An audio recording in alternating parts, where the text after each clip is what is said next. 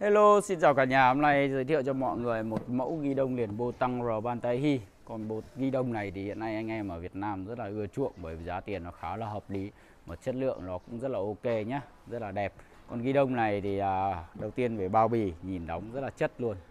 Đấy, xịn sò nó cũng đắt một phần là do vận chuyển. Đây đóng thùng như này thì vận chuyển rất là tốn kém anh em nhé. Mở thùng ra thì anh em xem mà mở thùng ra thì bên trong nó sẽ là một bộ bao gồm là có một cái giấy lót này Đấy, rất là đẹp luôn này. Đấy.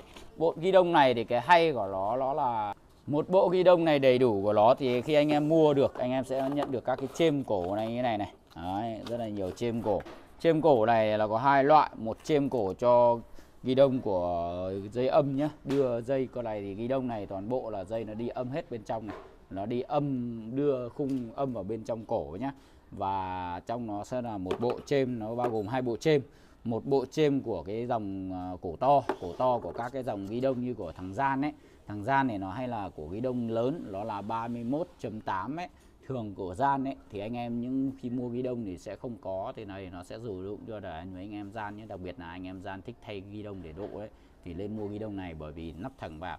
Còn anh em mà ghi đông thông thường, các cái xe thông thường thì anh em sẽ dùng đến bộ chuyển đổi này, nó đưa về 28.6 này là các loại phuộc thông thường nhá là lắp vào lên nó lắp được cho cả hầu hết là đa năng cho tất cả. Trong tương lai thì rất nhiều hãng xe nó sẽ sản xuất cho chúng ta sẽ là cổ to và để bởi vì một mình thằng gian là chơi một kiểu nó hay to lên nó sản xuất như này là sẽ sử dụng đa năng nhé khi anh em mua một cái bộ ghi đông này nó sẽ tặng cho chúng ta cái bát đồng hồ rất xịn sò này anh em này Đấy, bắt ở trên đây anh em không Ủa, bát này bằng kim loại thì bao cứng cho anh em nó bắt bằng ba con ốc chứ không phải một con ốc một con ốc ở đây và hai con ốc ở gầm này.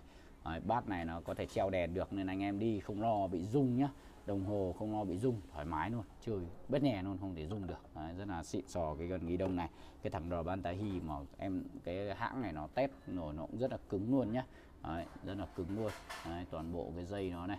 Anh em lắp cúp điện mà một số anh em chơi cúp điện ấy thì nó cũng có cái chỗ võng để cho anh em dãy dây ở dưới gầm này chui vào trong ghi đông chui vào trong để nó không bị không bị gờ lên. À, cái rất là hay luôn anh em thấy không? Cầm chắc tay rất là sướng luôn rất là chắc tay nhá. Đấy. bộ bát của nó đệm chêm ở dưới này rất là đẹp luôn nhá. Đấy, rất là nhiều đệm ở dưới này. Đấy, đệm ở dưới để thay và chêm ở dưới nên xe rất là đẹp. Đây kiểu dáng bên này góc này này rất là ngon. Con ghi đông này thì em bán rất là chạy luôn nhá. Giá chỉ có tầm có 2 triệu hơn tí xíu thôi. Mà chất lượng nó mang lại giá tiền so với giá tiền thì quá là ok anh em nhé Đấy, ghi đông này cũng rất là ok trong cái phân khúc này này. Đấy, anh em đang có nhu cầu liên hệ em được cảm ơn mọi người.